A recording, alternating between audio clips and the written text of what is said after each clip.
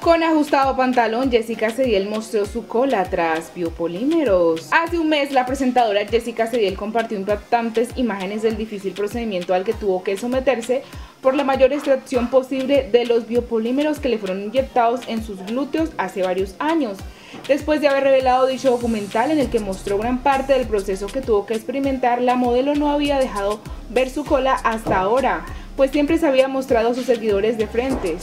Días atrás la bogotana protagonizó un baile, pero a diferencia de los demás videos que ha compartido en sus fanáticos, no presumió de su parte trasera por lo que muchos la cuestionaron al respecto. Ahora por medio de una publicación en su cuenta de Instagram, Jessica decidió mostrar cómo quedó la forma de su cola luciendo un ajustado pantalón de cuero. Gracias Dios porque todo ha sido posible únicamente por ti, todo en esta vida es cuestión de actitud, escribió en la descripción de la publicación anticipándose a las posibles críticas que le pudieron lanzar por el nuevo aspecto de sus glúteos.